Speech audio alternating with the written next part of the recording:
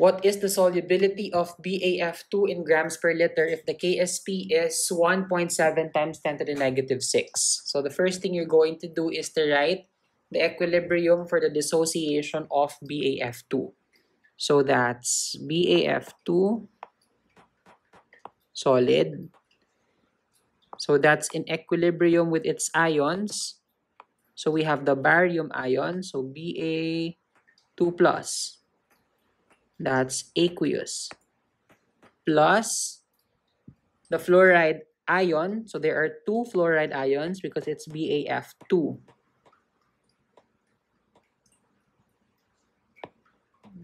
Okay, so after writing the equilibrium, we, we make the ICE table. So the ICE table.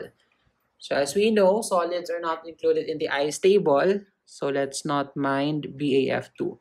So we don't care about BAF2. The initial for the products, we know that's 0. For change or C, for right side or the product side, we put plus S which stands for solubility.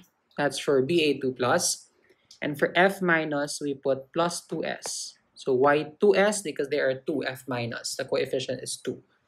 And for E, we just add I and C. So that's S and 2S. After doing your ICE table, you need to write the KSP expression. So we know that KSP is products divided by reactants. So our products, we have Ba2 plus. So the concentration of Ba2 plus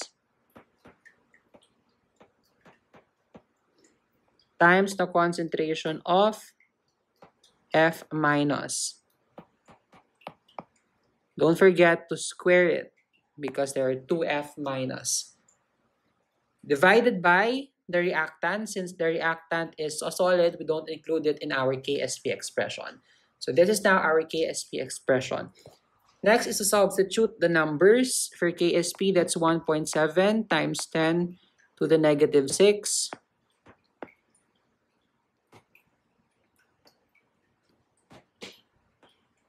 For barium 2 plus, that's S. For F minus, that's 2S squared. So on the left side, we have 1.7 times 10 to the negative 6. On the right side, s times 2s squared, that's 4s cubed. So you divide both sides by 4. So 4 cancels on the right side.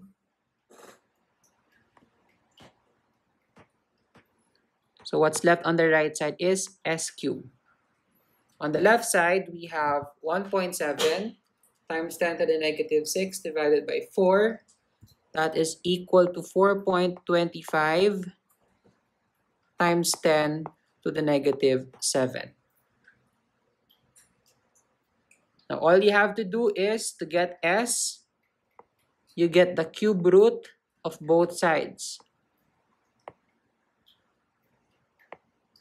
So on the right side, the cube root of S cube is just S and on the left side, so the cube root of 4.25 times 10 to the negative 7, that is equal to 7 point, approximately 7.518 times to the negative 3. And we know that the unit for solubility or S is molar. So again, we have our solubility 7.518 times 10 to the negative 3 molar, or in other words, moles per liter. So moles of BAF2 per liter. So that's the molar solubility. But the question is asking us a specific unit, which is, it should be in grams per liter. So we need to convert our answer, which is in moles per liter, to grams per liter.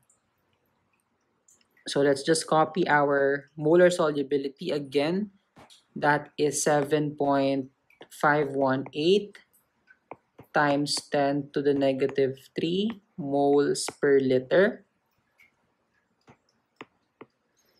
So we need the molar mass. So we multiply it by the molar mass of BAF2.